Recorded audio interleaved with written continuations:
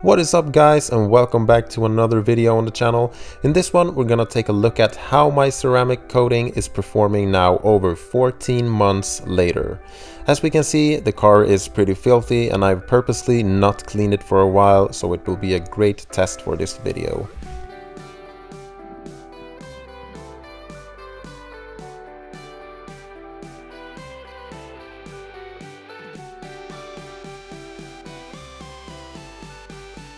Usually I like to apply the pre-treatment to the dry surface, but in this case there was so much pollen and dust on the car so I decided to give it a pre-rinse first. And then I applied the traffic film remover, which is dissolvable in water.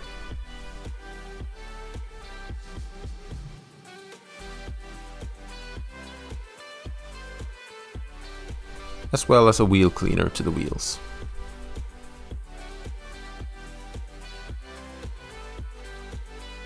And then I encapsulate the pre-cleaners with a blanket of snow foam.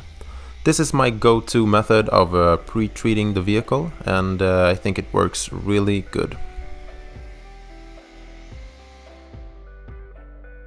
Now when I applied this coating over 14 months ago, I actually did some experimenting and only applied one layer to the roof. So it'll be interesting to see if there is any difference in durability comparing one layer to two layers, which I applied to the rest of the car.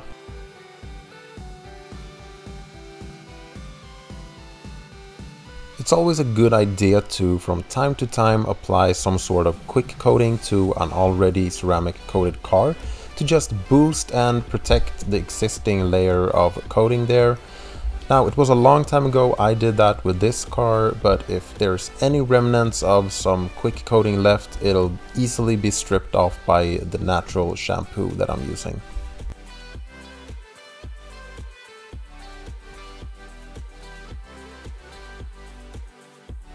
CarPro's Reset is definitely one of my favorite car shampoos to use.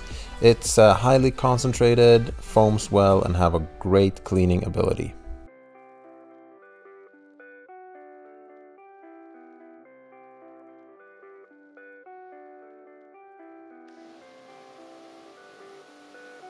And as we can see right here, the hood didn't get affected at all by the contact wash. It still pretty much performs like day one, which is really nice to see. So let's go ahead and clean the rest of the car and see how the water behaves on the other panels.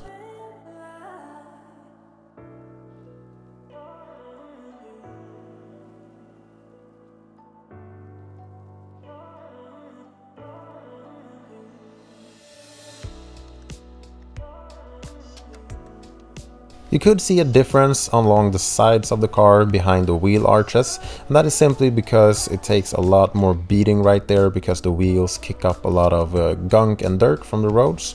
That is to be expected. But it's still there and it's doing something, so it's still holding up pretty well.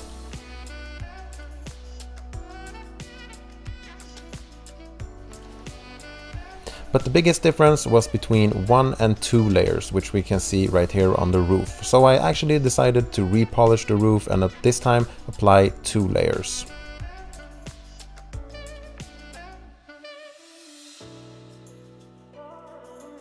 Then maybe every two or three washes I like to use some sort of quick protection, in this case a wet coat, just to boost the existing layer of protection and also it works as a sacrificial layer for the existing ceramic coating.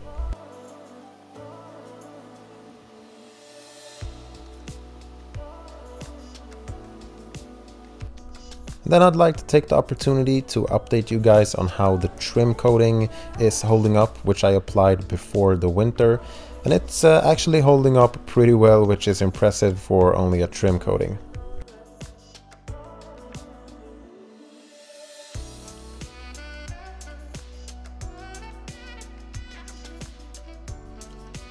So the video has come to an end and to uh, quickly summarize I noticed the biggest difference between one and two layers of coating. So if you're gonna do this yourself, I highly recommend to apply two layers.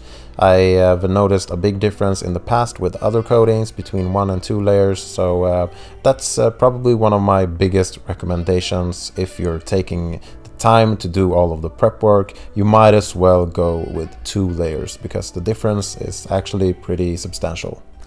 That's it for this video guys, I hope you enjoyed this quick little update video. Until next time, have a great one, see you then, bye.